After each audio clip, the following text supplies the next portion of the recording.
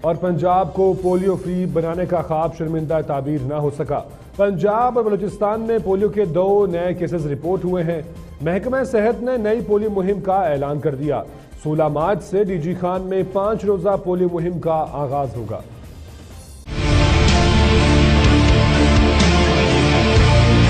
محکمہ صحت بلوچستان کے حکام کے مطابق صوبے میں پولیو کا ایک اور کیس رپورٹ ہوا۔ حکام کا بتانا ہے کہ پولیو کا نیا کیس سبی کے علاقے سے سامنے آیا ہے، جہاں سات ماہ کے بچے میں پولیو وائرس کی تصدیق ہوئی ہے۔ پولیو کی تصدیق کے لیے بچے کا سیمپل چودہ فروری کو لیا گیا تھا۔ محکمہ صحت کے حکام کا کہنا ہے کہ بچے کے والدین پولیو سے بچاؤ کی ویکسین پلانے سے انکاری ہیں۔ بلوچستان میں رواں سال کے دوران یہ پولیو کا تیسرا کیس رپورٹ ہوا۔ اس سے قبل پشین اور نصیر آباد سے پولیو کا ایک ایک کیس رپورٹ ہوا تھا۔